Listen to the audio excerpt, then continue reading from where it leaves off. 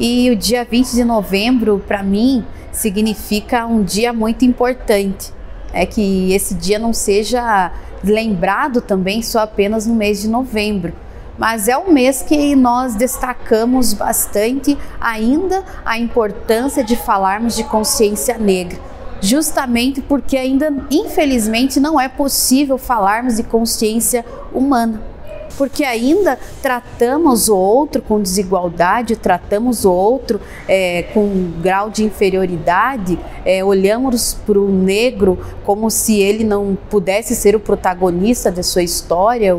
como se ele não tivesse contribuído também para a história, através, a gente vê isso através das, das palavras de cunho racista que ainda estão tão presentes e aqui na escola, o espaço da escola é o lugar de transformação, é o lugar que nós lutamos e enfatizamos a importância do Dia da Consciência Negra para refletir, para agir. E, enfim, é, é aqui o lugar que a gente precisa levar a transformação que a sociedade tanto busca, é nessa luta contra o racismo como um problema não só do negro, mas um problema de toda a sociedade é, se unir e estarmos juntos nesta luta contra o racismo.